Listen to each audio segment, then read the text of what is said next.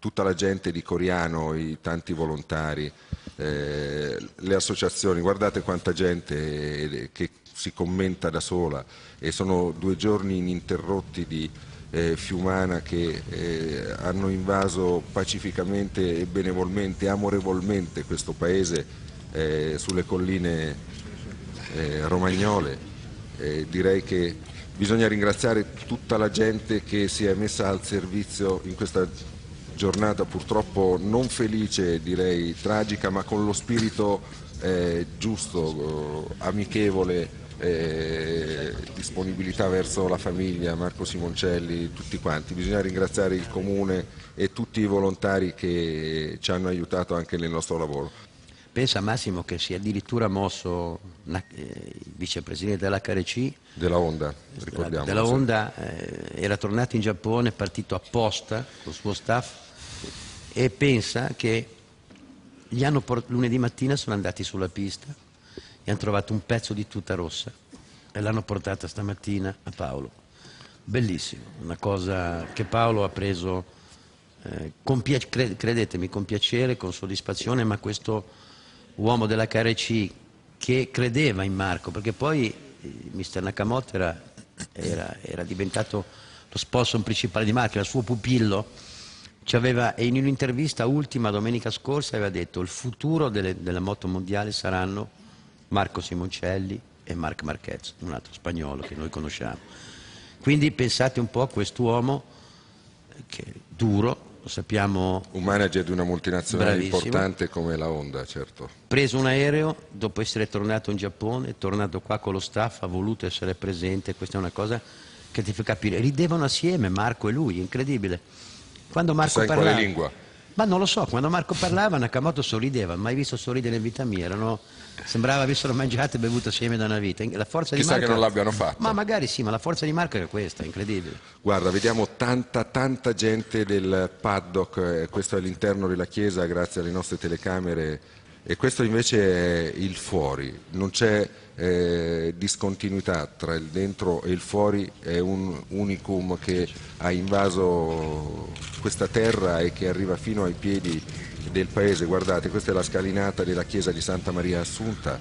Eh, sono, ho ricevuto messaggi addirittura da Mick Dua, che tutti sanno, di Randy Mamola, che volevano assolutamente venire, non ci sono riusciti, e sono dispiaciuti di non poter venire. Ma non so, questo ragazzo ha catalizzato l'intero mondo, incredibile, veramente. Però sembra quasi una scoperta eh, postuma dovuta alla morte, però credo che lui anche in vita eh, riscuotesse eh, questa simpatia a, ri a riprova eh, de, che era la sua simpatia e non le vittorie che accompagnano la costruzione di un personaggio, ma eh, una sua capacità, pur non vincendo, aveva un seguito incredibile. Oggi lo scopriamo, sì, sì. lo vedevamo anche prima perché fuori dai box, fuori nel paddock era tanta la gente eh, che aspettava Marco Simoncelli, solo Valentino aveva più tifosi fuori dal, dal, box, quindi dei segnali e della percezione nella gente c'erano stati. Sì, sì, ma forse noi l'abbiamo, non dico virgolette, non l'abbiamo capito.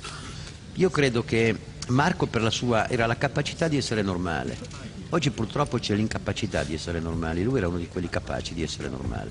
Paddock ha bisogno di queste persone, ha bisogno della capacità di essere normali, eh, Marco lo era, ma lo sarà sempre. Io credo che, guarda, si pensava, io pensavo col papà Paolo, glielo avevo suggerito di fare una fondazione Marco Simoncelli come quella di Alto Un applauso, credo che eh, in questo momento... Eh, la salma di Marco oh, tra pochi attimi sarà portata dalla Camera Ardente allestita presso il Teatro Civico del, di Coriano eh, sarà portata attraverso questa scalinata nella chiesa di Santa Maria Assunta.